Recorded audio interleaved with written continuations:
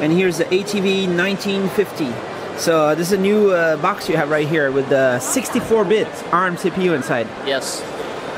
So, um, what's the features of, of this one? Uh, everything uh, goes through double. Uh, it's a 64 bits rather than uh, 32 bits, and uh, it's a 11 AC uh, Wi-Fi with MIMO, also uh, two antennas, and uh, it has a TV tuner, also two TV tuner inside. Two, Yeah, but with one connector. yeah, from a single antenna and multiplex to uh, two tuners.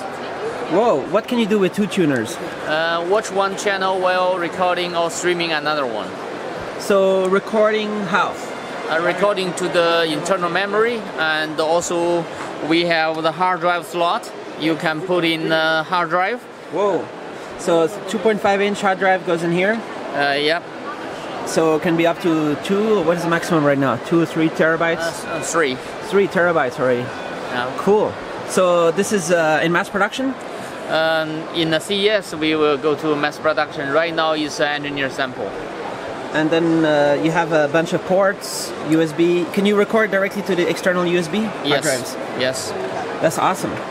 Cool. And um, this is Android TV experience. uh, it's an android uh, it's an android 5.1 not the TV, TV version we get more flexible on the AOSP android rather than android TV So you have a bunch more features. Google don't even have that.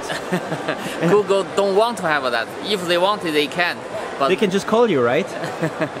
I'm waiting for their calls. Right.